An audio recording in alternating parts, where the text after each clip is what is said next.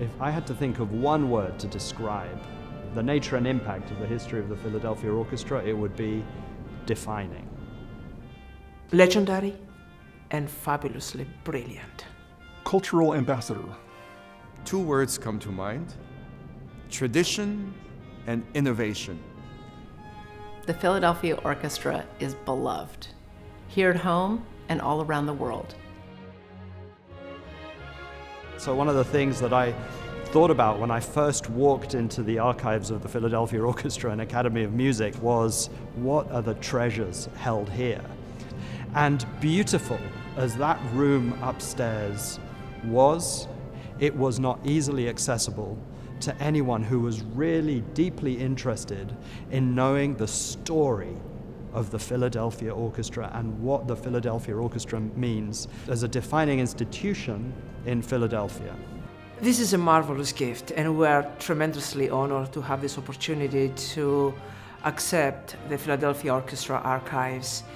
It represents the rich history of Philadelphia for over 100 years. There are records of famous conductors, there are financial records, there are program notes, as well as musical recordings. These records are important, they're valuable. They tell the cultural history not just of an institution or a city, but of the world. The thing is, though, they need to be preserved. They need to be maintained. They need to be cataloged and curated. Most importantly of all, they need to be shared because that is where their true value lies. To give access to the public to our archives is really important because it's not only about looking in the past, it's about uh, giving access to students, to professional musicians, to music lovers, to everyone who's passionate about what made this city so important in the cultural landscape of the United States and of the world. We are a, a major leader in the, in the world of, uh, of cultural preservation, making sure these documents live on, but also from the standpoint of organizing them so that researchers can gain access to them. That's all something that a library can do in a way that a, an institution like an orchestra could never do.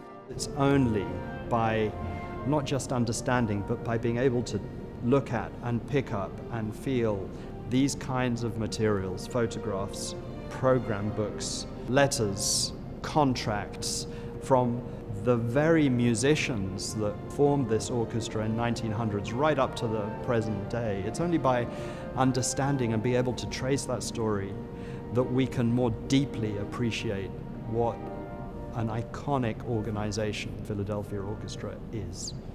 The Penn Libraries is also a cultural organization that reaches beyond the traditional forms of scholarship. Collections that represent the archives of the famous contralto, Marian Anderson.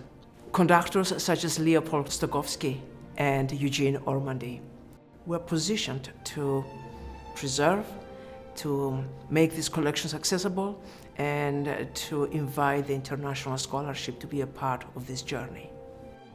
You know, the history of the Philadelphia Orchestra is made of firsts.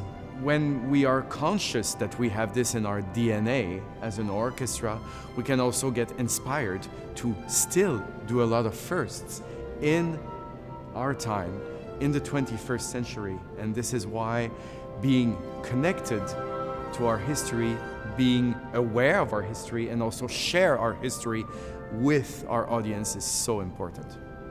This is when the outstanding expertise and resources of a truly great library, like the Penn Libraries, matter most. We are delighted to have this gift. We are excited to have this gift. But most of all, we are thrilled by the potential it represents. The opportunity through care and curation to bring new insights and new understandings to future generations of scholars and students who will access and study these materials.